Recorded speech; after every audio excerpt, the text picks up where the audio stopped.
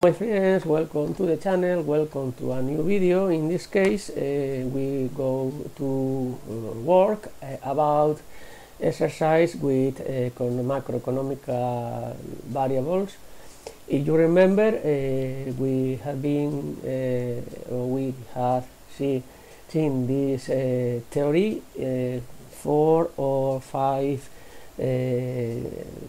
days ago in, in class.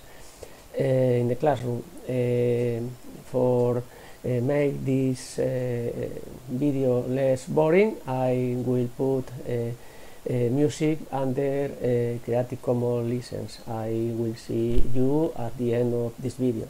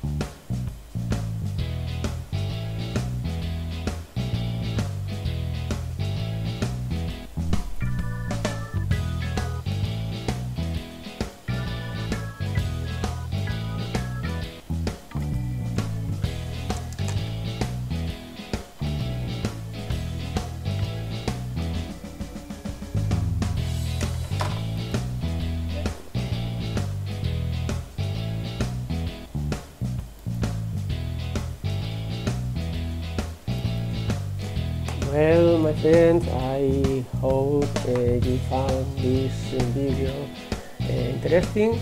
I will see you next Friday and for people who uh, have to the English test uh, this Friday, uh, good luck. Bye,